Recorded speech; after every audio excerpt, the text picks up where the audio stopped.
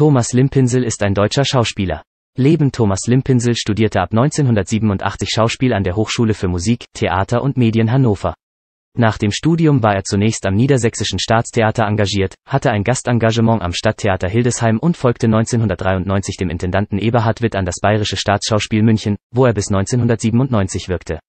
Seit 1997 arbeitet Thomas Limpinsel als freier Schauspieler und hatte Gastengagements am Bayerischen Staatstheater, am Schauspielhaus Bochum, am Burgtheater in Wien, den Salzburger Festspielen sowie auch an der Komischen Oper und dem Renaissance-Theater, sowie dem Schlossparktheater in Berlin. Neben der Theaterarbeit ist Thomas Limpinsel in zahlreichen Fernseh- und Kinoproduktionen präsent. Dazu gehören unter anderem die Bernd Eichinger Produktion Der Untergang, die Sat1 Comedy Paare, die Fernsehserie Unser Lehrer Dr. Specht, der Fernsehfilm Rommel oder auch in verschiedenen Tatort-Episoden.